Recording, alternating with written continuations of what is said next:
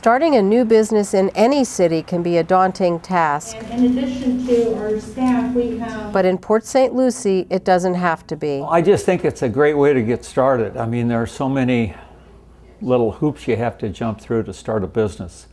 And this is just one of the major steps. Certified business analyst Duke Evans has attended several of Port St. Lucie's free business training workshops. He feels the building department is opening the lines of communication between the city and potential business owners. It's not difficult to start a business uh, if you know where to go and what offices to go to and who to talk to. And that's exactly what these training workshops are meant to achieve. I just think they're doing a, a great service. I mean, the more information they can get out to the public on how to help businesses get off on the right foot is, is just, it makes our job so much easier. go to the contractor class. Sometimes when we come up with these ideas, we never really know how they're going to take off.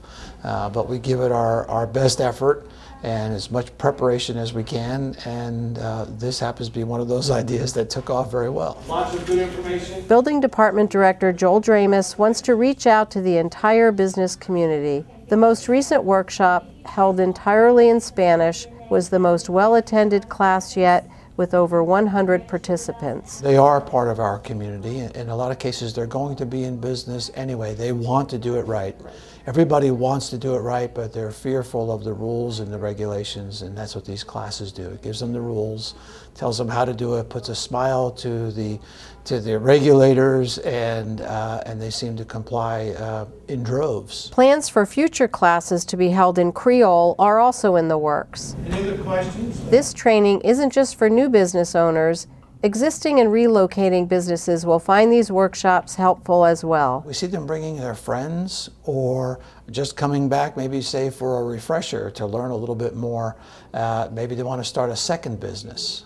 We see a lot of repeat. A reduced business tax receipt fee is another perk workshop participants receive. When the first folks took the class and they went to get their business tax receipt, we found out that their paperwork was filled out, their check was correct, all their questions were answered, they had all their information with them, and our process time for that business tax receipt application was about half. I asked City Council if they would allow us to cut the fee in half since our resources were cut in half.